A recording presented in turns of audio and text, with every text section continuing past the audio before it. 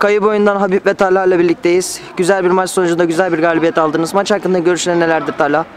Öncelikle rakibimizle yalnız sahada çok güzel mücadele ettiler. Biz son maçlarda çok mücadele ettik ama istediğimiz sonuca bir türlü ulaşamadık. Sonunda istediğimiz galibiyeti elde ettik. Bundan sonra devamının geleceğini düşünüyoruz. Senin görüşlerin nelerdir abi? Ben de bu maçta beraber açılacağımızı düşünüyorum yani. Bundan önce kör talih vardı. Bacağını kırdığımızı düşünüyorum şeytanın. Bundan sonra kazanacağız eminiz. Her maçımıza galibiyet töresi çıkacağız. Teşekkür ederim. İyi akşamlar.